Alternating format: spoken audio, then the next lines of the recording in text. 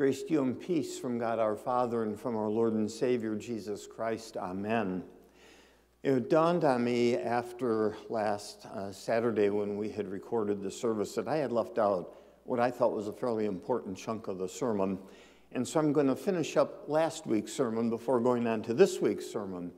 Last week, you'll recall, we were doing Psalm 80.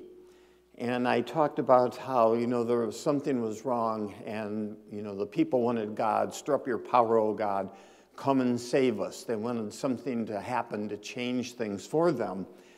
I failed to mention what went wrong, and it was a fairly significant thing. Uh, the Assyrian Empire captured and took over the, what we call the northern kingdom Israel, uh, centered in Samaria. And what the Assyrians did, as many ancient conquering nations did, was they uh, moved populations around. And so the people, the northern um, tribes of Israel, let's say, uh, centered again around Samaria, the Assyrians packed these people up and moved them, you know, all over their empire. And they brought in other peoples who weren't a part of Israel. Uh, they moved them into the land. Samaria was very nice, very great for figs and for vineyards. And so they brought in other people. So, fast forward to the year um, 700 years to Jesus, and we have the parable of the Good Samaritan. And now you can see a little bit what the problem is there because the Samaritans really were no longer any part of the people of Israel. Um, for 720 years, other people had moved in and, and the intermarriage and so on and so forth. And so the people are calling on God to, you know, stir up your power and come, that, you know, the, the crooked may be made straight, that they could return to the way that things were. Well, that brings us 140 years later, and the text for this morning from Isaiah chapter 40, and it's the same thing. Here, the people are speaking from exile, and we will use their own words to sort of understand. Uh, reading from the book of Lamentations, and I'm cleaning this up a little bit because some of it is uh, pretty upsetting, and it's written by someone who was in the city of Jerusalem when Nebuchadnezzar and the Babylonians had it surrounded and were, you know, ready to destroy the city as they did. Just a few verses from that. In residence inside Jerusalem, the tongue of the infant sticks to the roof of its mouth for thirst. The children beg for food, but no one gives them anything. Those who feasted on delicacies perish in the streets. Those who are brought up in purple cling to ash heaps. For the chastisement of my people has been greater than the punishment of Sodom, which was overthrown in a moment. Her princes were purer than snow, whiter than milk. Their bodies were more ruddy than coral, their hair like sapphire. Now their visage is blacker than soot. They are not recognized in the streets. Their skin has shriveled on their bones. It has become as dry as wood. Happier were those pierced by the sword than those pierced by hunger, whose life drains away, deprived of the produce of the field. And then an observation How lonely sits the city that once was full of people. How like a widow she has become, that she was great among the nations. She that was a princess among the provinces has become a vassal. And so we have the inside story of what happened when Nebuchadnezzar and the Babylonians attacked, destroyed Jerusalem, uh, destroyed the temple, and they too, like the Assyrians, carried populations away. There is a book by a, a well known Israeli archaeologist written just a few years ago talking about uh, the, the land, what archaeology shows us about the land uh, after Nebuchadnezzar, and they call it the archaeology of desolation, that indeed there was nothing left, not just in Jerusalem, but the surrounding area of what, was, of what once was the kingdom of Judah. The people we know were carried away uh, in captivity, and I want to read a little bit from Psalm 137, uh, written by someone in this foreign land. By the rivers of Babylon, there we sat down, and there we wept when we remembered Zion. On the willow there we hung up our harps, for there our captors asked us for songs, and our tormentors asked for mirth, saying, Sing us one of the songs of Zion. How could we sing the Lord's song in a foreign land? If I forget you, O Jerusalem, let my right hand wither, let my tongue cling to the roof of my mouth, if I do not remember you, if I do not set Jerusalem above my highest joy.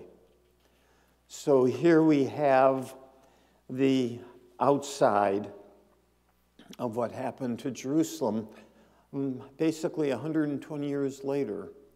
So we have the people of Israel, uh, and they're living in captivity by the waters of Babylon. It sounds a little bit like Godspell. We know where they got the words for one of their songs.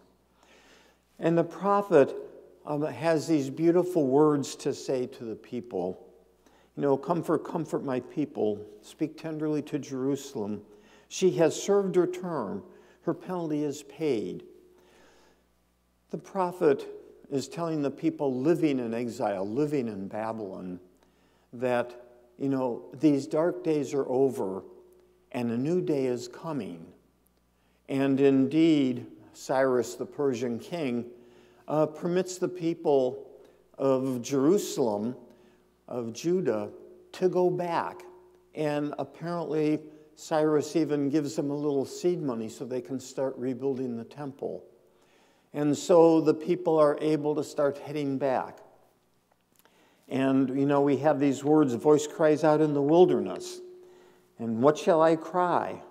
All people are grass, their constancy is like the flower of the field. The grass withers, the flower fades when the breath of the Lord blows upon it. Surely the people are grass. The realization that the concern was that when the people of Israel came back, um, when their dark days were over, that the same thing might happen to them again. Talking about how the people just aren't real faithful. Their constancy, you know, just withers like the flower of the field. But the people come back, they start to build the temple, um, and the good days that the prophet talks about and that we anticipate in this Advent season, those days really weren't good for all that long. You know, Alexander the Great comes through, and then things really get bad for the people in Jerusalem and Judah. And then the Roman army comes along. And then, you know, Islam um, rises in 600 AD. And so for the people of Israel, uh, despite Isaiah's words that, that came true when they were able to come back and rebuild Jerusalem, um, and the promise the promise of, of God. Um, that, that's all taken care of, but, but what happens again? As we think about our own lives and in our own lifetimes, and think of all the things that have happened to diminish life and to diminish our um, good feelings about life. You know, in Genesis chapter 1, God creates and, God's, and God looks at his creation and God says that it's good.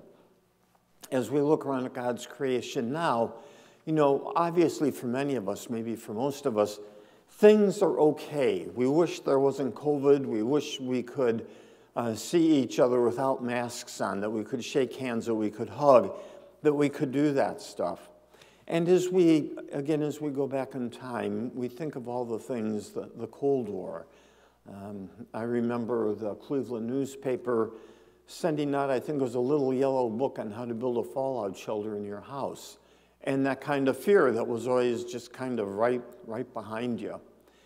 Um, and so we realize that life still, let's say, is not perfect. Again, for most of us, life may be pretty good. Uh, we enjoy uh, the love of family, the love of friends, the love of our brothers and sisters here at Zion. And it's pretty good. But we look around and we know that, you know, that's not true maybe from even most of the world. And so with Isaiah and the people of Jerusalem uh, sitting by the rivers of Babylon in captivity, you know, we too wait for God to act. We think in uh, Psalm 80 last week about stir up your power and come, O God, come and save us. And how every Advent that becomes kind of the, the key verse for uh, the living of these days for the Advent season. I made the comment, and others had agreed that Advent's my favorite time in the church year uh, because it's a time that we celebrate God's promises uh, God's promises to us. In Isaiah chapter 40, uh, reading on from where I ended, it said, The grass withers, the flower fades. You know, people aren't real faithful. But the word of God will stand forever. And this Advent season, that's what we're celebrating, that God's word lasts forever. And so the promise of God, you know, to all of us, to, to God's creation, you know, we await that time, as I mentioned last week, when uh, the one will come to straighten out the crooked, to lift up valleys, to, to push mountains down. Uh, we look forward to that day uh, when God can look at God's creation again and say, This is very good. So, this Advent season, as every Advent season, we wait. We celebrate Jesus' birth in just a couple weeks, uh, and it's a, it's a great time for everybody. And then the Christmas season passes, Advent passes, and we're sort of right back into it, um, into the, the challenges of being God's people. So we wait. We wait for God to stir up God's power. Um, we wait for God's promises to be kept for God's promises to be fulfilled for all of us, for our loved ones. And so we wait um, in hope, we wait in faith, knowing that God's word lasts forever. Amen. May the peace of God, which passes all understanding, keep your hearts and your minds through Christ Jesus. Amen.